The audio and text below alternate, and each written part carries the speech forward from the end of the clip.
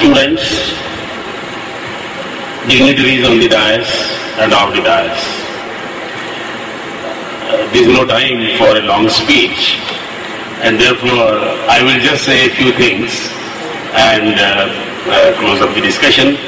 Uh, one thing I want to tell you is, uh, as Chetan Bhagat said, we should try to reduce corruption as far as possible and eliminate it when the opportunity arises.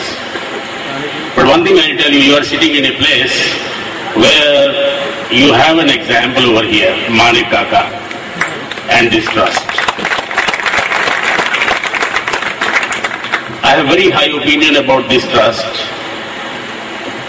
This trust has been surrendering all the management seats for common admission. Others take a lot of advantage, as you know.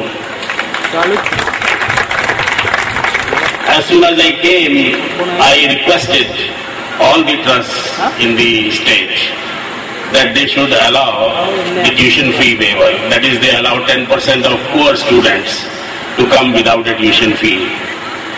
Uh, this is the trust which allowed it, not many did.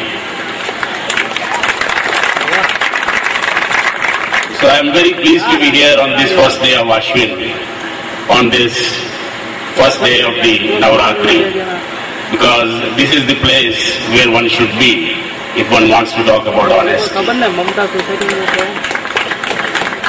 We did a conference on 25th and 26th September on business ethics. We want to say that it is possible to do business ethically. We want to say that it is not necessary for you to indulge in unethical practices to succeed in business. And we brought a few examples. Those of you who were there at the conference may have heard. But those who were not there for their benefit, I would give you two examples. Siemens, an international multinational company, five years back in Germany they decided they will not bribe anyone. They were bribing Indians till five years back. And you know their officer who came to us, he admitted, he said, yes, I will not say we were not doing it. But they decided they would not do it anywhere in the world and today they are not doing it. And he talked about the actions which the multinational did all over the world so that they would not indulge in unethical practices. And he said their business has not suffered, in fact it has grown. You have of course the example of Tatas, they have not suffered and they are fairly ethical.